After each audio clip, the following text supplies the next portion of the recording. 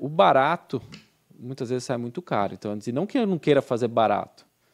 É óbvio que eu quero fazer mais barato. Aliás, comprar o equipamento, um equipamento desse, porque, assim, tem, é possível alugar. Não que se, não, essas empresas nem deixam alugar, mas tem gente que aluga.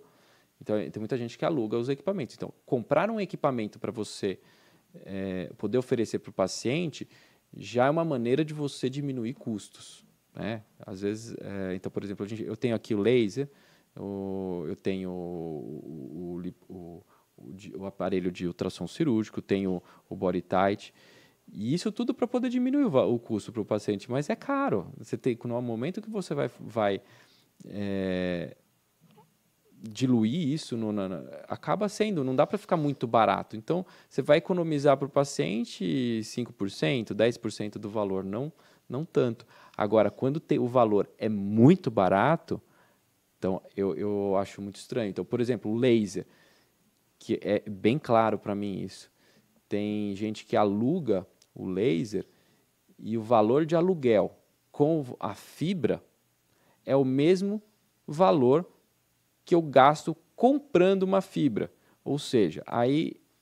E às vezes até me, menor o valor, custa até menos. Eu falei, mas como que isso é possível? Porque simplesmente a fibra ela é reutilizada. A fibra, de, até onde eu me lembro, a fibra ela não pode, não pode ser reutilizada para lipolaser. Né? Tem uma fibra específica que parece para questões de uro, pode, pode ser reutilizada, mas a fibra de lipolaser não está registrada assim na Anvisa. Uhum. Então, quem faz isso está indo contra a Anvisa.